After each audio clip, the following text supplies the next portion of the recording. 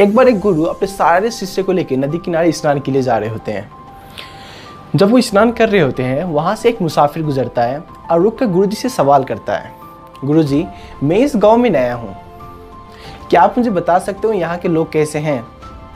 तो गुरु जी उनसे गुरु जी मुसाफिर से एक सवाल करते हैं, आप ये बताओ, जिस जगह से आप पहले आए हो, उस जगह के लोग कैसे हैं? तो मुसाफिर बोलता है, जिस जगह से मैं पहले आया हूँ वहाँ के लोग बिल्कुल भी अच्छे नहीं थे। लोग एक दूसरे को बिल्कुल भी सपोर्ट नहीं करते थे। चोरी, लड़ाई, झगड़ा गाली गलौज करते थे। मतलब दिन भर लड़ते रहते थे। गुरु जी रिप्लाई करते हैं, यहाँ के लोग भी काफ़ी उसी टाइप के हैं, काफ़ी हद तक। यहाँ पे काफ़ी लोग लड़ते रहते हैं गाली गलौज करते हैं। यहाँ पे उनको रहने बिल्कुल भी मज़ा नहीं आएगा। फिर वो मुसाफिर ये बात सुनकर वहाँ से चल जाता है। कुछ देर बाद एक और मुसाफिर वहाँ पे आता है, गुरुजी से दोबारा से सवाल करता है, गुरुजी, मैं इस गाँव में नया हूँ और मैं यहाँ पे आकर बसना चाहता हूँ।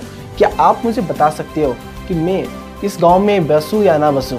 यहाँ के लोग कैसे हैं? तो गुरुजी दोबारा से सेम सवाल उनसे पूछते हैं, जिस जगह से तुम पहले आए हो, उस जगह के लोग कैसे थे? तो वो मुसाफिर कहता है, जिस जगह से मैं आया हूँ, वहाँ के लोग बहुत अच्छे थे। वहाँ के लोग सारे एक एक साथ मिलजुल के प्रेम के साथ रहते थे। सारे लोग एक दूसरे को सपोर्ट करते थे मतलब एकदम पॉजिटिव इन्वायरमेंट था। तो गुरु कहते हैं, यहाँ के लोग भी काफ़ी अच्छे हैं। सारे लोग एक दूसरे को सपोर्ट करते हैं मतलब एकदम पॉजिटिव इन्वायरमेंट है। सारे लोग एकदम प्रेम पूर्वक रहते हैं।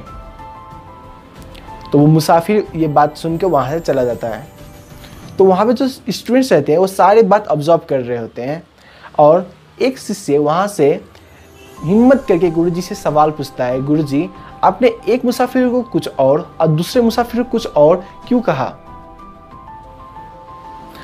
तो गुरु जी रिप्लाई देते हैं, आप ज़िंदगी में वैसे लोग को अट्रैक्ट करते हो जैसे आप होते हो।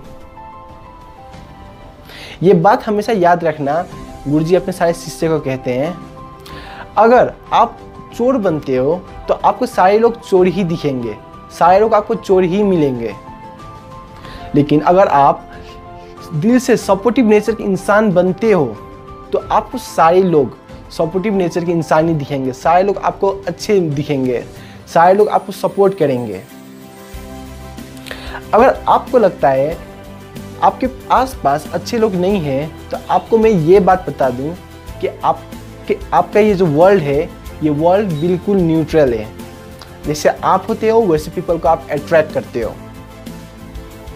If you want to change people around you you must change yourself first so इसी के साथ मैं आपको अगले वीडियो में मिलता हूँ। टिल टाइम स्टे इंस्पायर उसे खुद पे था यकीन। कोई श्योर नहीं था, वो मोटिवेशन की मशीन शुरू किया जब सफ़र, उसके साथ था हुनर। था वो सेल्फ मोटिवेटेड अपने सपनों की फ़िक्र गया एक सेमिनार में जहाँ लोग सारे मैड उसने पढ़ी थी किताब रिच डैड पुअर डैड